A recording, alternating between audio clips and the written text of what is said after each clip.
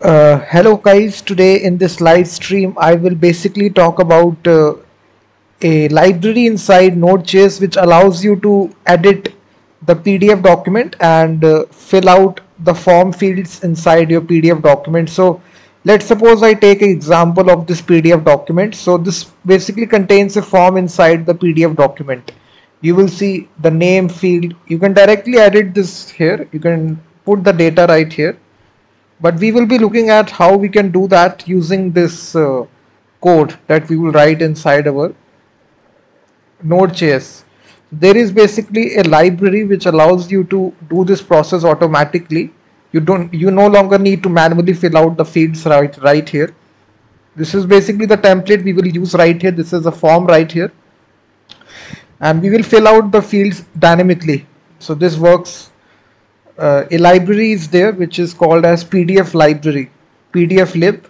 This is a library we will use guys. It also uses uh, it's a javascript pdf library. It it can also be used inside a browser using a cdn but we will be using the npm package of this library. So right here just search for the package which is pdf lib. And uh, just install this package guys. The command is very simple which is npm i pdf dash lib. So it's a very popular library. It is able to create pdf documents. You can also edit pdf documents as well. So this is a command. So now let me show you the node.js project. So you can see basically we have this template right here inside our folder. And this is you can see that no this is a template and now if you want to automatically fill out the fields guys how we can do that? It's let me show you. So you need to first of all create a index.js file for this purpose. Just create index.js this will be the starting point of the application. And as I already told you first of all you need to install npm i pdf-lib so install this package. I have already installed this package. So hardly it will take 5 to 10 seconds so after you have installed this package guys now you need to require this right here at the top. So const we need to require pdf document here. And this basically comes from this package which is pdf lib from this package. So after this guys we also need the two methods the read file and the write file. So these two methods will come from the the file system module it basically offers the promises library so we are requiring this package guys fs slash promises so this API provides these two methods in order to read the PDF file and also to save the PDF file with the modified changes. So after that guys we will basically write a function which will be a async function which will actually create the PDF. It will basically expects the input PDF file and the output file so I'm just making this function right here. And after this we will simply call this function create PDF and we will give the file output input file name which is uh, it is present inside our PDF document guys PDF folder. You will see that inside our PDF folder we have this form.pdf file which we are providing right here as the input file. And in the output file you can give any file name. Let's suppose I give result.pdf so now we are calling this function. We are providing two arguments here input and output. So right here guys what we will do inside this function we need to write the code inside the try catch block. So first of all we will get the reference to the PDF document. As this is a async function we can use the await keyword. And here we will use PDF document. And there is basically this load method which is used to load the PDF document. And here once again you will use await. And this you will use the read file method in order to read a particular file from the input file that we are providing here. So this will actually load the file guys and it will store this reference inside the pdf doc variable. So now if you console log it so what you will see if you run this uh, by sorry node.js script node index.js so now it is saying you are missing the catch blocks. So just make the catch block as well like this. So if you now run this application so now guys it will contain information about your PDF document. You will see that all such information is there. Uh, what is the encrypted all this information. So instead of printing out this information guys we need to get the number of fields number of form fields. So this is actually we want to get how many form fields are there. So in this document this is the first form field the name field fam family name address field. So in order to get this information in PDF library this basically provides a method.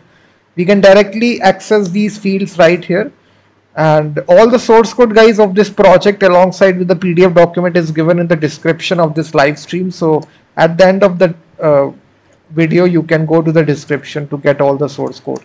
So now we will simply say pdf doc and we will get the reference. You can see all such information can be extracted.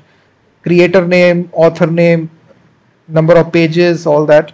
We need to get get form. And uh, inside the form we need to get the number of fields out there. You can see that. How many fields are there? So basically guys this returns a array. And if you now console log it so these field names will be an array here. So this returns an array. If you run this once again console log pdf field names this returns an uh, array here. You can see array of fields are there. So now we need to use the map method inside this. And for each field here we will simply say we need to uh, get the file name of the field like this. We will map it like this. So we just need to say uh, field names like this so now if you just console log it guys so basically now it will show the number of fields which are there inside your if you see assignment to constant variable so just change it to let keyword here just change it. So now guys you will see it basically returns an array here.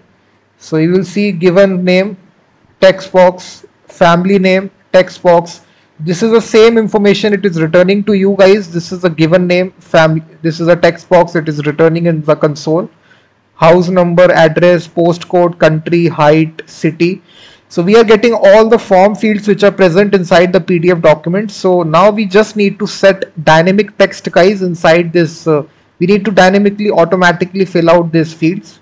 We need to automate this process. So how we can do, do that? It's very simple. First of all, we will get the reference to the form. We will say const form pdf doc dot get form. And then guys, what we will say form dot get text field. This is a method guys which will allow you to get access to that text field. And then we will simply say field names. We will access the zeroth index because this is an array here. We will we can access the first index this will access the, the first text field out there. This is a name field given name. So here we need to write something here dynamically. So how we can do that? It's very simple. There is a method out there which is set text. So here we can set dynamic text here the name of the person John Williamson let, let me uh, set here. So after this we can save out our PDF file. So we can say that PDF bytes so if you're done await PDF document dot save so if you save the document guys after this you also need to say await write file output file name and we will pass the PDF bytes so now if you run this script guys, it will automatically get access to that input field. It will put John Williamson and it will save it inside your root directory. So what will now happen? So now you can see it will create result.pdf. If I open this file here, so now you can see automatically this has put this text right here, John Williamson. So this is, we are automatically filling out the fields. So now if you have a long form, if you want to fill out using a Node.js script, you can use a PDF lib library. So now instead of manually doing this, you can do it using uh, JavaScript and Node.js. So we can repeat the same process we can put here fields. This will put family name. So we can put here Williamson family.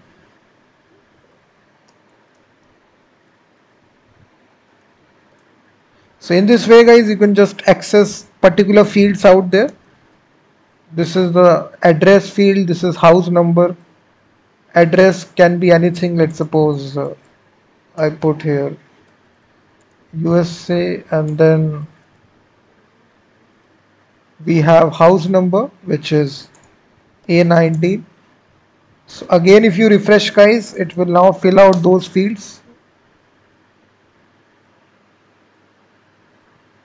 So you can see that family name which is Williamson family. House number USA address to A19 you will see that it's very easy guys. You can see how easy it is. Postcode city. So instead of doing right here guys what we can do as uh, this is uh, I think we can even use a for loop as well. Let's suppose this is field names is an uh, we can use a for each loop for this. So field names is an array here. So for each field what we can do? We can say uh, form dot get text field. And uh, this is a field name. We will get set text. You can say John. So now this will basically it what it will do it will fill out every field. We are putting this in a for, for each loop here. So it will fill out every field with the name of John. So it is saying that expected field country combo box to be of type PDF text field but it is of actually of type PDF drop down.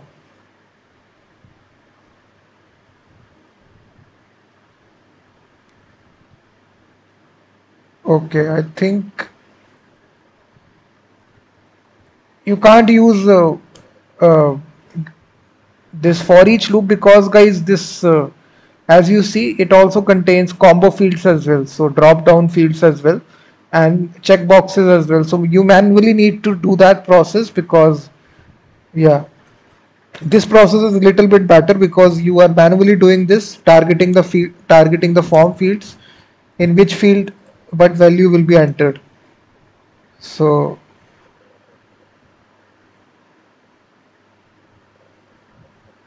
Yeah, so these two fields are also text fields.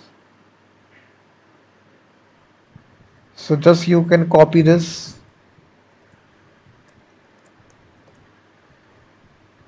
Just change the index number 4, 5. So here you will post your postal code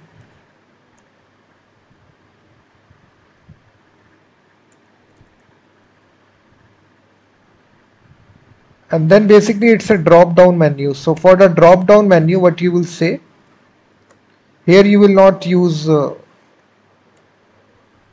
get text field so you will say get combo or get drop down so here we can set here uh, any let's suppose I set Australia here. This is available. No Austria is there so let me set Austria. So if you now refresh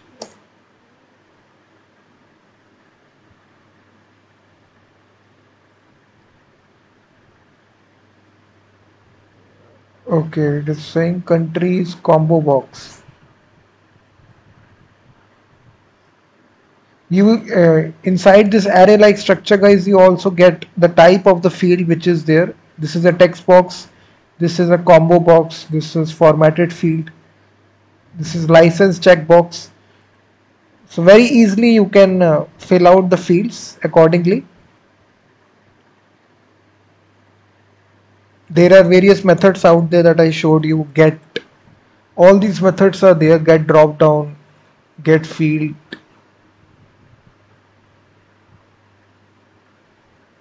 Get signature as well. So you can read more about the documentation of this uh, library pdflib it's a very powerful library which can automate filling out the forms. You can take any example. Let's suppose I take the second example file. It's a little bit complicated form. You can take any form example. This will also get the number of fields which are there. I just need to change the let me provide form 2 here so again do the same process. So what it will do it will list out the entries which are there. You will see. It will exactly tell you the form field here. So so once again if I target the same here I just need to change form 2 here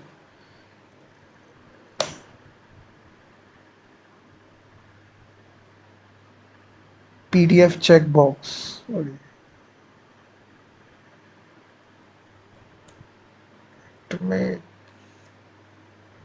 so now it has created that file. If you refresh now uh, that file uh, yes this is a file. So now you can see this is John Williamson. It is put, put here. This is Williamson family. You can see address USA so in this way guys you can put anything right here.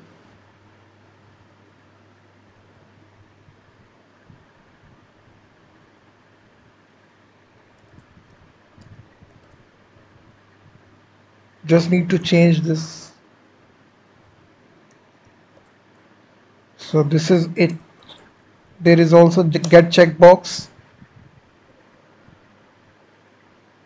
and here for this we will say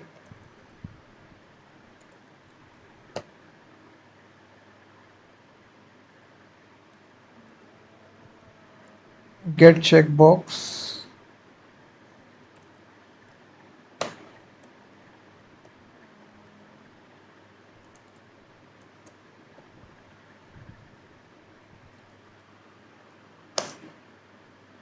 So I think uh, PDF checkbox is slightly different and the combo field as well. So if you have a combo field and checkbox, you can read more about in the documentation how you want to tackle that. For text fields, it is uh, very simple. For text field, you just need to call this method get text field and use the set text method. It will dynamically put the data right here inside your form forms you can take this data from a API Excel sheet and automatically fill out your PDF document. So it's a very good library and I think that you should try it.